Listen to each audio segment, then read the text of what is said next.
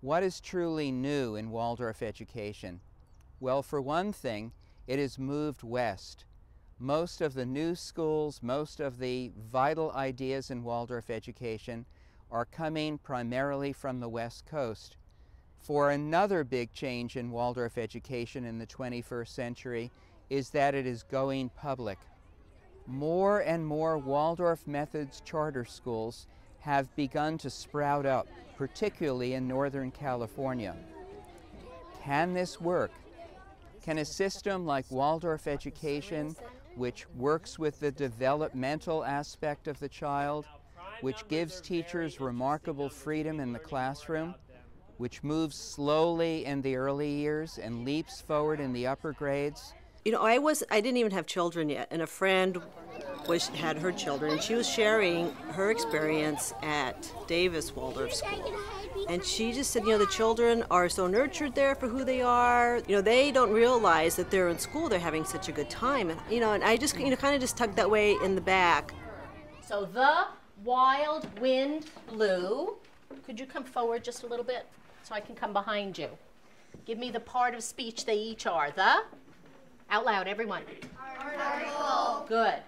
Adjective. Wild. Wind. Noun. And. Verb. Good job. Thank you. Have a seat.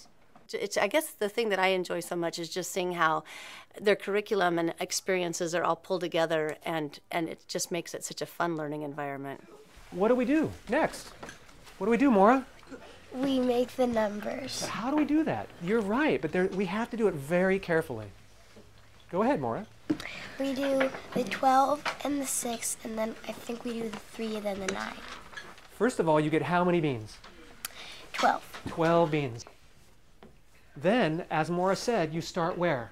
You start at the top and the bottom. Then? Side and side.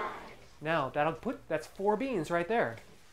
If you had 12 beans and you put 4 down, how many should you have left to put out? How many, Quentin?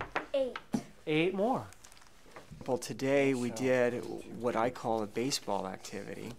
And it's just a way to structure a review activity where every student in the class gets to ask another student, John Brown. And every student in the class has an opportunity to be challenged in that way. So he, him and his sons went to South's weapon place, and they were gonna steal him and give him to the slaves, but he was stopped and hung. So, yeah. Well, what do you think of that answer? Incorrect. he took over that place. He didn't, didn't just didn't. steal I, I never said he didn't take over. He took over yeah, for a few hours, so he left that part out. Well, Carly is an authority on this subject. You're familiar with these drinks, right? Yes. yes. All right, and they're the same. They're the same volume. Now, it turns out they're slightly different mass. All right, I have a special talent, and I am going to challenge that I can weigh, tell the difference between the two blindfolded. Do you promise you didn't put any markings on them? So okay, so I want you to observe them, take, inspect them. Don't shake them, don't drop them, but you may inspect them. Uh, any markings. All right, so I actually have to close my eyes because if you open it, this stuff just goes right in your eyes. I'm having a hard time telling which one is different. So, I would dare to say that there's an education revolution that's happening here, and it's not really a revolution until it enters the public mainstream, and we are doing that very quickly with great success and a lot of credibility.